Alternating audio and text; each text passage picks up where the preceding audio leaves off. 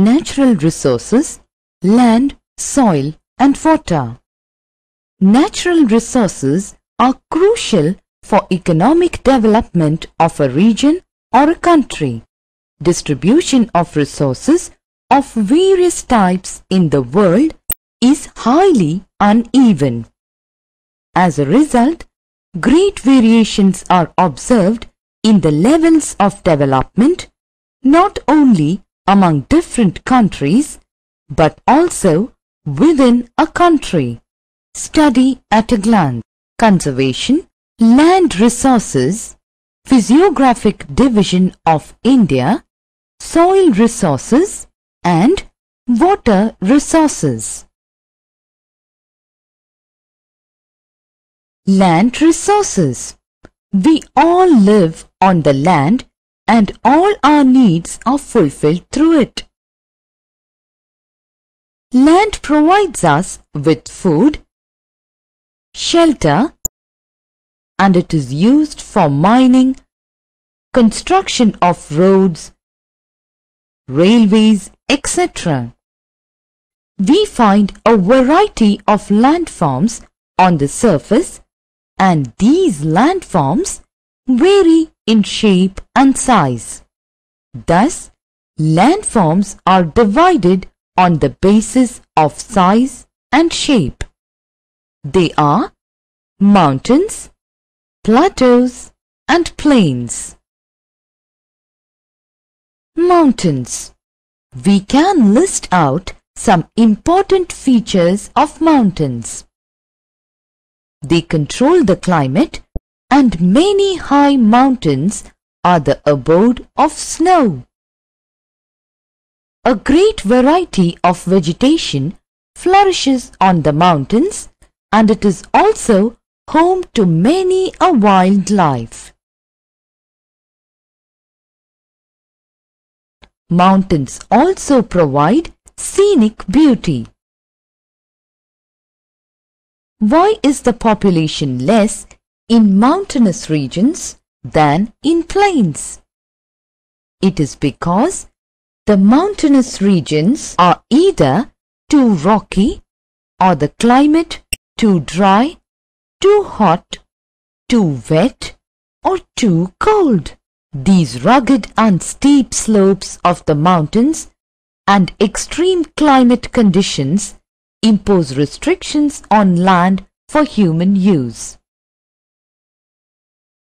Do you know which areas in the world are sparsely populated? Sparsely populated areas mostly include the deserts and grasslands of Asia and Africa, tropical forests of South America, Africa and Southeast, etc. Some of the important mountains and mountain ranges in the world. The Rockies and Andes in the North and South America. In Asia, the Himalaya Khingan and Yabloni are the main mountain ranges. Plateaus The next type of landform is plateaus. What is a plateau? Plateaus are tablelands. They are the raised blocks of land with flat surfaces. Now, we can list out certain features of plateaus. Most of the plateaus of the world are rich in minerals and forest resources. Some plateaus are known for plantation. Some of the important plateaus of the world are as follows. Brazilian Plateau, which is known for coffee plantation. Indian plateaus are rich in mineral resources. Example, Deccan Plateau, Chota Nagpur Plateau, etc. Plateaus of Tibet, Australia, Arabia and Africa. Plains Plains are the most fertile area among mountains and plateaus. Why are the plains more densely populated than plateaus and mountains? Because most of the plains are drained by rivers and they are the cradles of human civilizations. The plains provide most favorable conditions for agriculture and human settlement. In the plains, soil is very fertile, which is good for cultivation. Some of the important plains of the world are the following. Prairie plains of North America and pampas of Argentina. The vast steppe Nile Valley Plains. Huanghe and Yangtze Kiang Plains on the Great Plains of India. Land use What are the different purposes for which land is used? Land is used for different purposes such as cultivation of crops, grazing of animals, building houses and roads, mining and manufacturing. This is commonly termed as land use. Now, we can list out certain factors that influence land use pattern of a country or a region at a given time. Physical factors such as topography, soil, climate, availability of water and mineral resources determine the probable use of land. Economic and human factors are also important. Can you list certain serious problems that are created by careless use of land? shortage of croplands, soil erosion, desertification, conservation of land and soil. Here we will have a close look on the conservation of soil and the means for conserving the soil. It is very necessary to protect soil from erosion. Otherwise, it becomes unproductive, barren and infertile. We can adopt the following methods to conserve soil. Afforestation. One of the most effective method for conserving soil is planting more trees. The roots of trees thus planted hold the soil particles together and reduce soil erosion. Terrace farming. On the hills, conservation of terraces like steps or stair can prevent soil erosion. In this way, the speed of the flowing water is reduced and there is less soil erosion. Contour plowing Technique of plowing parallel to the contours of a hill slope rather than up and down the slope so as to reduce soil erosion. Strip cropping Growing of different crops on parallel narrow strips of ground usually following the contour patterns. Shelter belts In dry regions, rows of trees are planted to check the wind movement for protecting soil cover. Construction of check dams Soil erosion can be checked by constructing check dams. It helps to prevent the speed of gullies.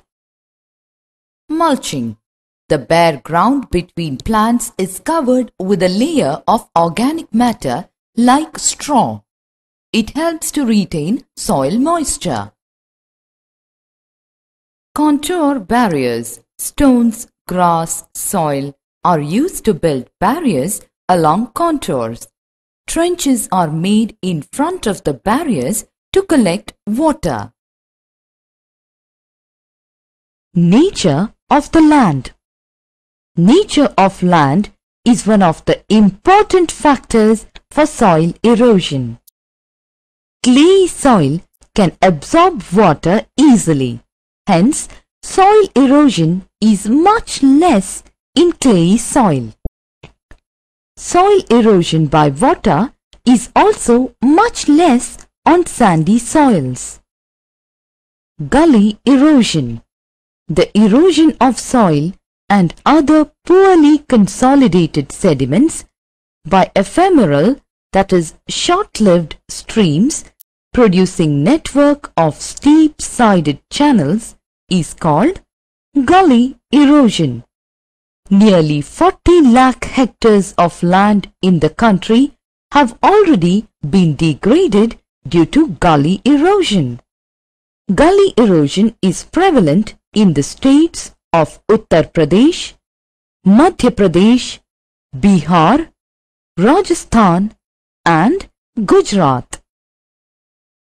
Physiographic Division of India When we talk about India, we have diversified physical features. Now, let us look out on the different physical features of India. Northern part of India has a lofty mountain range, the Himalayas. It extends from Jammu and Kashmir to Arunachal Pradesh. A large part of Himalayas is under permanent snow. Himalayas are the source of many rivers flowing in India. On the basis of their altitude, the Himalayas are divided into Shivalik, the Middle Himalayas and the Greater Himalayas. Mount K2, Mount Goodwin Austen, is the second highest mountain peak in the world which is located in Jammu and Kashmir in the northern Himalayas. To the south of the Himalayas, there is a vast stretch of relatively flat surface called the Northern Plains or Great Indian Plains. Do you know how these plains are formed? These plains are formed by the deposition of alluvium brought by rivers flowing from the Himalayas. The plains extend from Punjab to Assam. These plains are drained by a number of rivers like the Satluj, Beas and Ravi on the west, Ganga, Yamuna and other supporting rivers of Ganga in the middle and Brahmaputra and its tributaries in the east. We all know that India is a peninsula, which means all the three sides of southern India are covered by water. The peninsular part of India is largely covered with a plateau. This peninsular plateau is the oldest block of India. The northern part is called Malwa Plateau and it continues up to Chota Nagpur Plateau. The Deccan Plateau lies to the south of Vindhyas and is bound by eastern Ghats and the western Ghats. The Deccan Plateau is flanked by narrow coastal plains, the west coastal plain and the east coastal plain. The western part of Rajasthan is a great Indian desert. India has two major island groups, that is Andaman and Nicobar Island Group in the Bay of Bengal and the Lakshadweep Island Group in the Arabian Sea. Soil formation Do you know how soil is formed? Though soil is a renewable resource, the process of soil formation is extremely slow. The soil is formed by physical, chemical and organic changes which go on taking place continuously in the layer. Soil formation is controlled by five factors. Climate, nature of the weathered particles, topography, time and soil profile. Factors of soil formation. Climate. The soil forming process takes place more rapidly during high temperature and high rainfall. Nature of the weathered particles. Weathered particles may be obtained from the weathering of rocks or deposition of materials by rivers, winds or other gradational agents. The physical and chemical composition of these particles determines the relative proportions of different minerals in the soil layer. Topography Topography of a region also affects the formation of soils. Steep slopes usually have thin soil due to erosion. Thick fertile soils are developed in the valleys and lowlands. Topography controls the state of moisture in the soil layers. Time A rich and fertile soil is formed only when the weathered particles of rocks remain undisturbed at one place for a long time. It is only over a long span of time that the action of physical, chemical and organic processes takes place and leads to the formation of deep and well-developed layers one below the other. Soil profile Each type of soil has a well-developed vertical section called the soil profile. The top layer consists of fine particles and organic matter from decayed plants and organisms.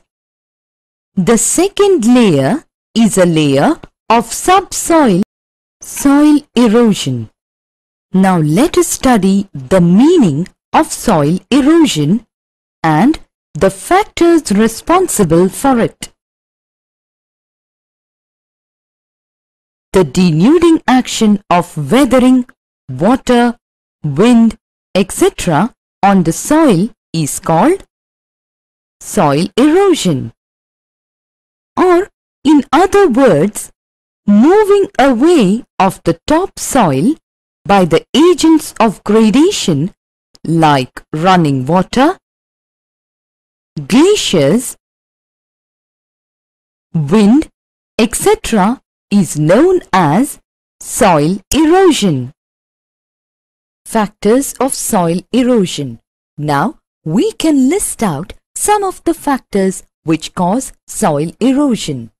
They are deforestation, heavy and torrential rain, overgrazing, winds, slope of the land. Deforestation How can deforestation cause soil erosion? When trees are cut down recklessly, nothing can check the speed of running water. So, deforestation causes soil erosion. Another factor that causes soil erosion is heavy and torrential rain where it carries away the fine soil particles with it due to its great speed and erosive capacity. Overgrazing Soil is eroded due to overgrazing especially by cows, goats and sheep. Plants which conserve soil are uprooted and soil erosion takes place. It generally happens in hills. Winds. When the winds blow violently, they carry away several millions of tons of soil dust with them. Their action is more powerful in deserts and semi-desert regions. Slope of the land Water runs with great speed if the slope is steep. Then the soil erosion is greater due to the fast speed of running water. Another factor that causes soil erosion is heavy and torrential rain where it carries away the fine soil particles with it due to its great speed and erosive capacity. Water resources We all know that water is essential for all forms of life. Do you know why Earth is called the blue planet? About three-fourths of the Earth's surface is covered with water. 71%. As such, the Earth appears blue from space and hence called the blue planet. Now we can list out the different sources of water. There are large water bodies like oceans, seas, lakes, streams, rivers, freshwater, groundwater etc. These are the different sources of water on earth. Conserving water and improving its quality. The major contaminants of water are bacteria and parasites, chlorinated hydrocarbons, volatile hydrocarbons, lead, salt hardness and iron. The use of pesticides in some way or the other is hazardous to people as they are not biodegradable. Water is contaminated with hydrocarbons by oil spills, leaking petrol and diesel tanks, and cleaning fluids that are flushed down the drains iron contamination and hard water are more serious problems for industrial activities and electricity generation. Besides these problems, there are certain methods to conserve water. Now, we can list out some methods to conserve water. Rainwater harvesting Methods for keeping the rainwater in reserves are termed as rainwater harvesting. Do you know? Rainwater can be stored in the tank for 3 to 5 years, making it a regular source of drinking water. Rainwater, palar pani, is the purest form of natural water. It is often used to cure ailment of sick people.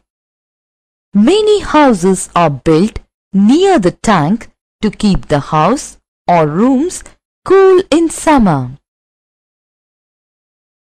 Watershed development Watershed is the basin of a tributary of a main river. Sprinkle irrigation. It is the most effective and efficient tool of irrigation. Drip or trickle irrigation. This is another type of irrigation which is used to conserve water. Water is supplied to plant roots through underground pipes. Fresh water. When we take 71% of the earth's surface which is covered by water, only 3% of it is fresh water. Fresh water is easily available and is suitable for human use. It is found as groundwater, as surface water in rivers and lakes, and as water vapor in the atmosphere. Fresh water is continuously being renewed and recharged through hydrological cycle. Do you know from where fresh water is obtained? Surface runoff. Groundwater. Can you say what surface water is? It is the overland flow of rainwater. The surface runoff from a large area gets collected in the form of small streams which unite together to make big rivers. The area drained by a big river along with its small streams, tributaries, is called a river basin. Surface water resources include water in the rivers and the reservoirs, water in the lakes, ponds and tanks, water in the seas and water in the oceans. Now let us understand what is underground water resource. It includes water which has become underground through percolation or seepage and is lying in the porous rock above the imporous rocks. Water Resources India Here we will study the distribution of water resources in our country, India. India receives a good amount of rainfall, but the distribution of rainfall is highly uneven. About 20% of the rainwater is lost by evaporation and nearly 30% seeps below the ground. Many parts of India face acute shortage of water, even for domestic use.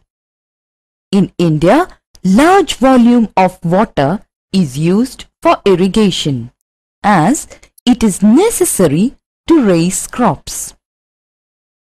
India has many perennial rivers like Satluj, Beas, Indus, Ganga, Yamuna and Brahmaputra. Here we came across perennial rivers. What do you mean by perennial rivers? Perennial rivers are those rivers where we can obtain water regularly throughout the year.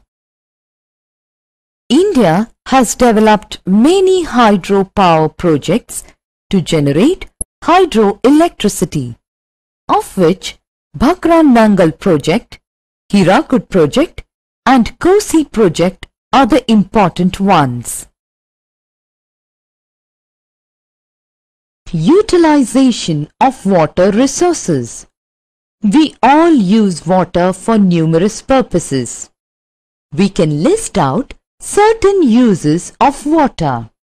Drinking, bathing and washing, irrigation, industries, navigation, generation of hydel power, fishing and numerous other purposes like sewage disposal for urban areas, etc. Landslides Landslides are defined as the mass movement of rock, debris or earth down a slope. They often take place in conjunction with earthquakes, floods and volcanoes. A prolonged spell of rainfall can cause heavy landslide that can block the flow of river for quite some time. The formation of river blocks can cause havoc to the settlements downstream on its bursting. Mitigation Mechanism Advancement in scientific techniques has empowered us to understand what factors cause landslides and how to manage them. Some broad mitigation techniques of landslide are as follows. Hazard mapping locates areas prone to landslides. Hence, such areas can be avoided for building settlements. Construction of retention wall to stop land from slipping. Increase in the vegetation cover is an effective way to arrest landslide. The surface drainage control works are implemented to control the movement of landslide along with rainwater and spring flows. Summary The three natural resources are land, soil and water. Human being and most living organisms live on land. Land has various features like mountains, plateaus and plains. India has varied land features. Soil supports plant life and is a primary resource. Soil formation is controlled by five factors. Soil can be conserved by developing certain methods. Nearly 71% of our earth is under water and it is an indispensable resource. Not all the water available to us is fresh water. Moreover, the distribution of fresh water is also highly uneven as fresh water depends upon the amount of precipitation, snowfall and glacier of a particular region. Quality of water is affected adversely when the impurities in water exceed such permissible limits that can be tolerated by living organisms. Rainwater harvesting watershed development, sprinkle irrigation, drip irrigation are some of the methods of conserving water.